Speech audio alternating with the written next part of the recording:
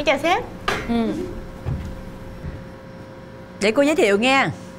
Đây là Candy Nhân viên mới của phòng mình đó. Đây là chị Mai, đây là chị Nhi. Em chào hai chị. Annyeonghaseyo. Em là Candy Hương Nhưng mà mọi người cứ gọi em là Candy được rồi.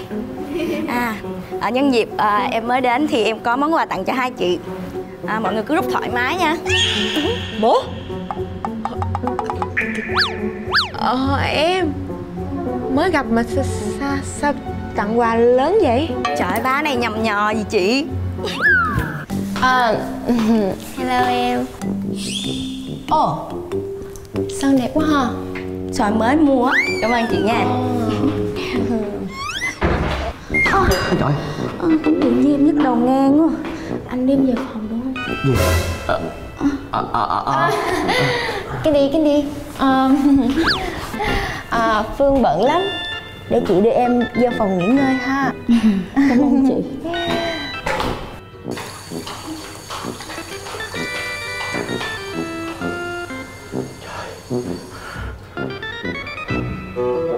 Nhanh lên, nhanh lên. Em nói là em nhức đầu đúng không? Được rồi yên tâm, chị lo cho, ngồi xuống.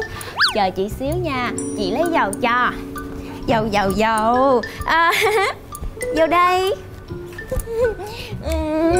à, Em á, đau đầu á là phải xoa dầu vô thái dương nè Nó mới mau hết Em nghỉ ngơi chút xíu là hết rồi chị ơi. Đây nữa Em nè. nghỉ ngơi chút xíu là Ừ. khỏe à Không sao hết. Khỏe cái gì mà khỏe? Nghe lời chị đi. À phải xoa bóp nữa. Xoa bóp thì nó mới nhanh hết chứ. Ừ. Xoa bóp, xoa bóp thì nó Sao mới chị nhanh. sức dầu nhiều quá vậy? Đâu Chị đã nói là phải sức nhiều á thì nó mới mau hết mà. Ừ. Sao bớt đau vậy chị? Cay hả? Cay quá. Ôi chị xin lỗi chị xin lỗi nha. Ơ nhưng mà thấy em chưa có khỏe. Thêm miếng nữa nha.